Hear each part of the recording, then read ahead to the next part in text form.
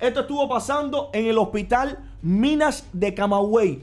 Una cubana descompensada de diabetes prácticamente perdió la vida porque no había ambulancia. Escucha, esto es exclusiva. Esto es lo que pasa en la supuesta potencia médica. No hay ambulancia y después se forma el corre-corre y tu familia es la que llora. Escucha.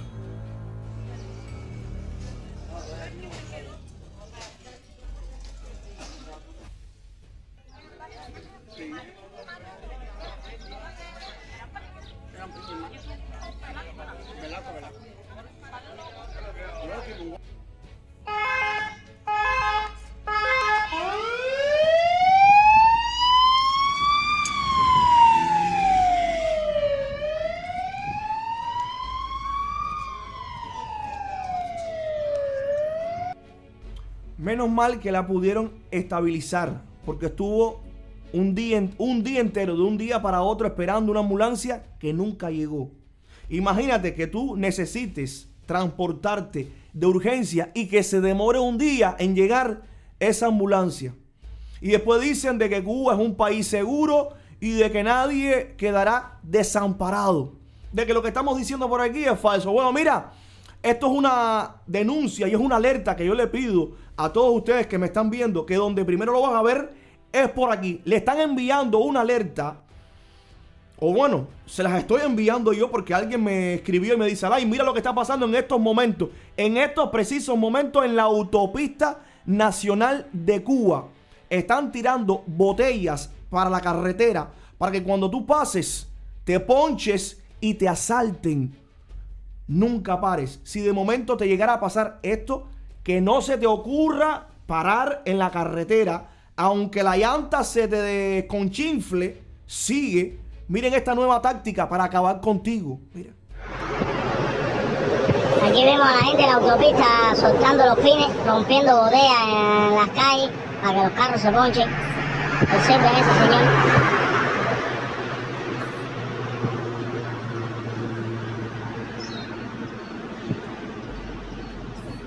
Mira cómo rompe la bodega la calle. Para que la gente lo... Mira, observen. Rompiendo las bodegas en la autopista aquí para que los carros se ponchen. Así la policía tiene a la gente aquí, ¿ven?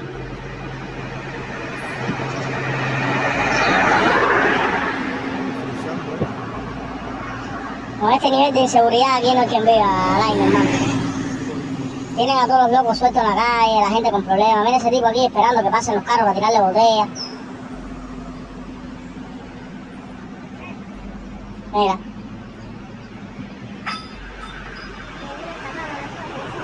Ah.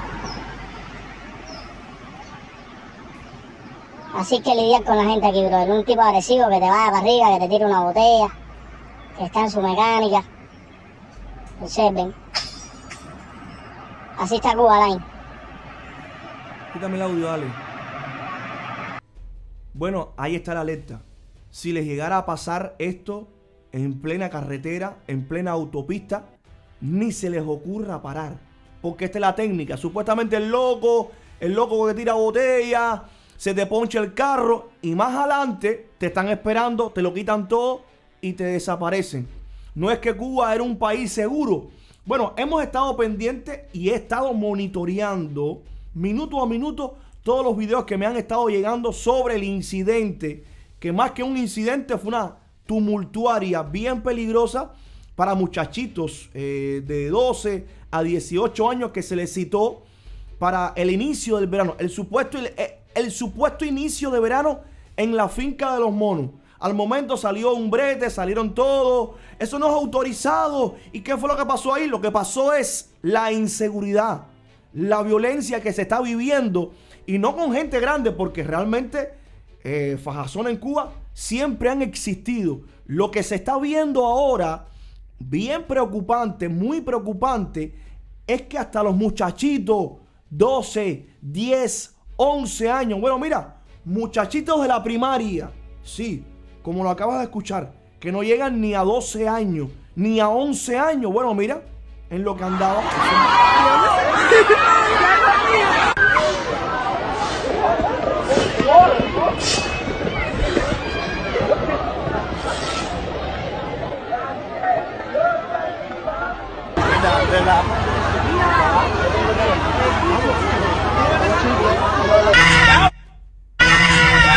Quítame la Dime algo. ¿De qué van a hablar ahora? No es que todos estaban seguros y que no, que eso es algo aislado. De que no está pasando nada.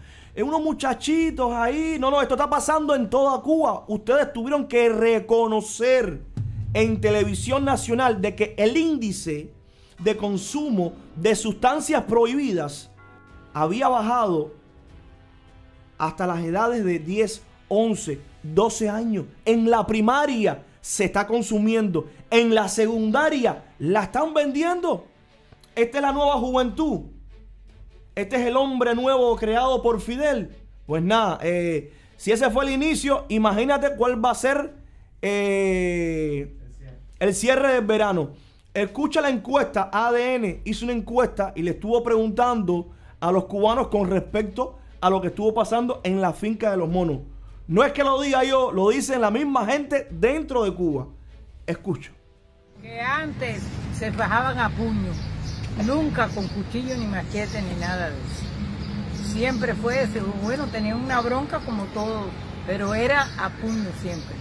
Nunca yo vi de cuchillo, ni machete, ni nada de eso. O sea, eran eh, eh, problemas personales entre hombres que se resolvían como los hombres, Ajá. a cuestiones de, golpe, de de, piñazo, Sí, no a violencia, a quitarle la vida a otra no, persona. No, no, nunca. ¿Y usted qué dice, abuelita? No, bueno, eh, antes cualquiera tenía un problema, como cualquiera, pero teníamos más, más solidaridad entre todos nosotros, nos bien, íbamos a las fiestas, compartíamos, y si no, no nos peleábamos así de esa forma tan salvaje. ¿Y usted, abuelita? Bueno, que haya una diferencia donde hay un grupo grande de personas no es nada que asuste, pero la violencia tan grande, eso sí es algo que es preocupante. Lo que sucedió fue la cola normal, la gente fajándose. Eh, dos niñas que se cayeron a galletas porque una se coló delante de la otra y ya. Más nada, de ahí para allá fue lo que se formó la discusión entre muchachos. Dos o tres delincuenticos que andaban con machetes. Na- a todo lo que están diciendo, que están diciendo que, que hubieron nueve muertos, que hubieron doce, que le arrancaron la cabeza a uno, que le arrancaron el brazo, todo eso es mentira. ¿Qué usted cree del comportamiento social ese De los muchachos muy mal. a temporada suya, cómo era? No, la temporada mía no se parecía a nada, ¿eh? O sea, que era un... Hacían matiné, hacían actividades, muchas actividades, se iba al casino con que se le decía el casino antes y todo eso y no sucedía lo que está sucediendo ahora con los muchachos que tan falta de educación de los padres.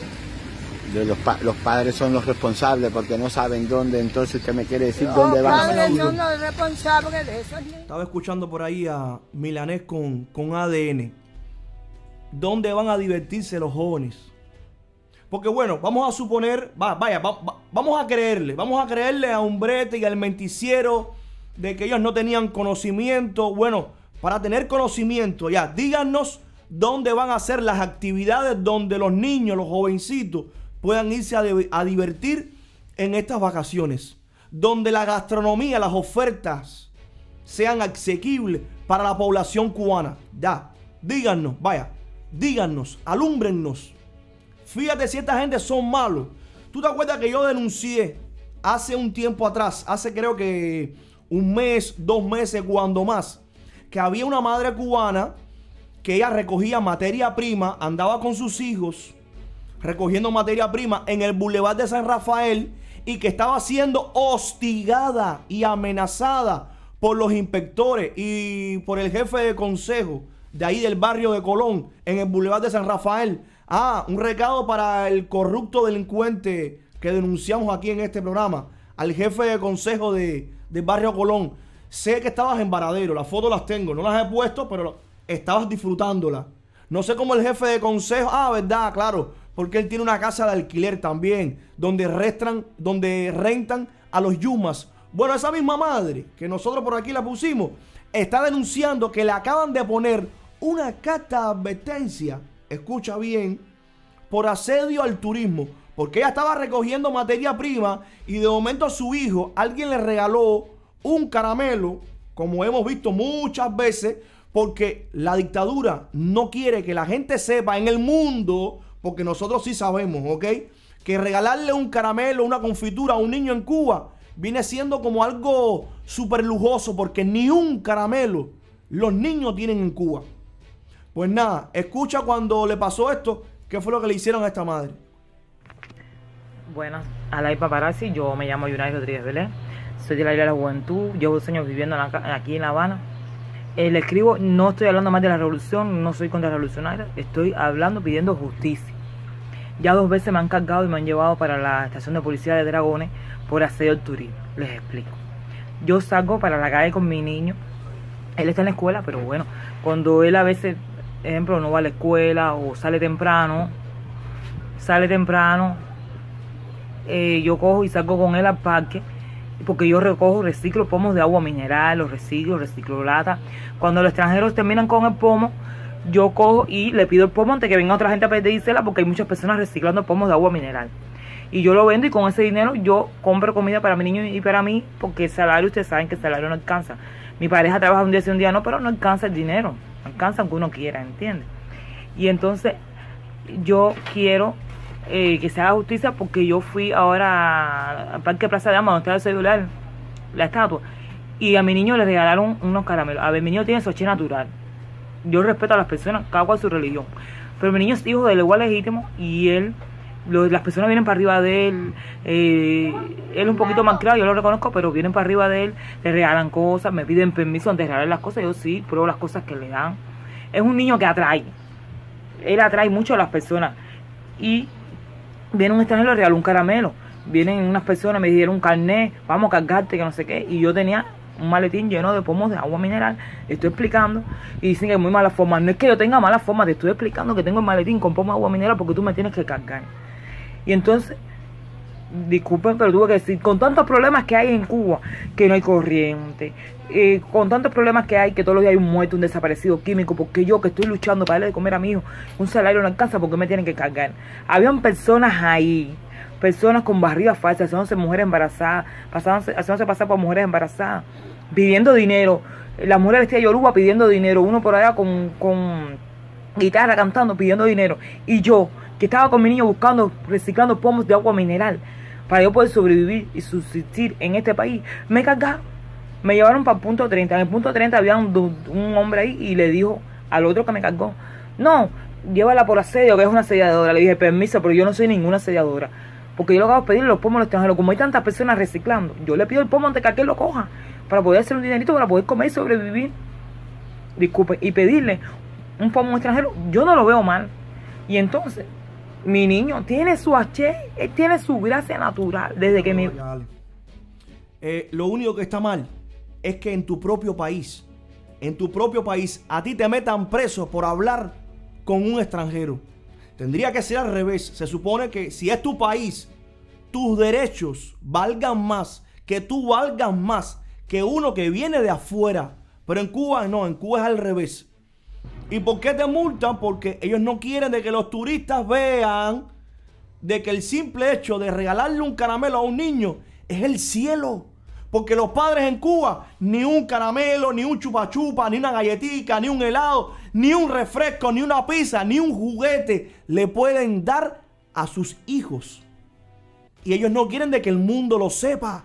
No es que le interese el muchachito, ni le interese tampoco la madre ni mucho menos el Yuma que está ahí en Cuba caminando, regalando sus cositas. No, no, no, no. Es que ellos no quieren que se sepa la verdad. ¿Cómo le van a meter una carta de advertencia a una mujer que lo único que hace es buscar materia prima? Y si se la quieren regalar, que se lo regalen. No lo ven la apariencia. No ven la necesidad que están pasando la gente en Cuba. Ni los ayudan, ni tampoco dejan que los demás ayuden. Es prohibido ayudar. Mira, preocúpense, preocúpense porque ahí mismo en el malecón de La Habana, un lugar por donde pasan muchos turistas, aparte de que se está cayendo en pedazos, porque el otro día vimos cómo se cayó una escalera y el niño terminó en el hospital, que de hecho no te puse el video ese, pero yo sé que mucha gente lo vio por ahí. Miren cómo está saliendo la mierda, las heces fecales, las fosas reventadas, frente con frente al malecón. Observa. Mierda, mierda,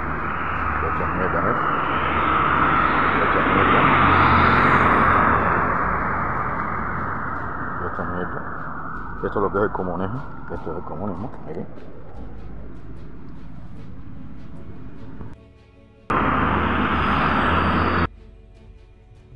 Eh, pónganme los comentarios por ahí porque me estaban diciendo por ahí que me estaban viendo en pausa.